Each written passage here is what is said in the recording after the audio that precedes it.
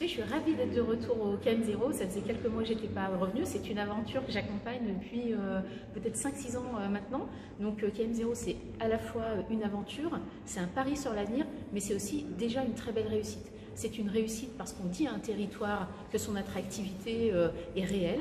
On dit à des entrepreneurs bah, qu'on a raison de prendre des risques ensemble. Et puis on dit à l'innovation bah, qu'elle a euh, un écosystème exceptionnel pour se développer et pour être un peu business friendly. Parce que l'objectif aussi du KM0, c'est de renouer avec, euh, j'allais dire, des talents, des compétences, mais aussi de dire qu'on peut faire des affaires ici et que les entreprises peuvent s'installer.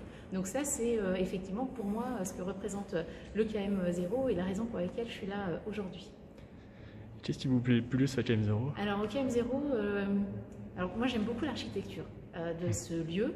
Je trouve qu'il a réussi à garder euh, son âme, cet esprit industriel. C'était un lieu en lien avec la mobilité et on ressent que effectivement c'est toujours en mouvement. Et ce qui me plaît le plus, au-delà ben, de l'équipe qui est là, qui porte, qui écoute, qui est toujours prête à envisager les choses différemment, moi j'aime que les choses ne soient pas figées. Je trouve que ça c'est assez exceptionnel.